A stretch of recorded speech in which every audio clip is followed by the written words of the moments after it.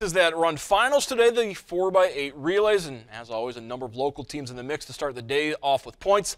Coldwater and Liberty Benton girls missing out on the podium in Division 2, finishing 12th and 14th, respectively. As for the D2 boys, OG, the lone local representative, Matthias Trappicant helping the Titans to a sixth place finish time of 8 minutes 3 seconds, 0.19. Division 3 boys 4x8, Minster's Dominic Sankoski anchors a fifth place finish, 804.47. Grove 7th and a 10th the three girls. St. Thomas Aquinas breaks the state record. Minster, Olivia, Anna King, the anchor for a bronze medal, while Marion Local finishes 12th.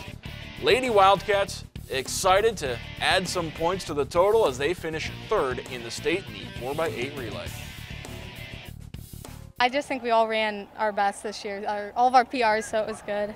Yeah, I agree. Like, um, we had steady splits. Olivia was her first time, and she did awesome, and it was just it all went well. I think.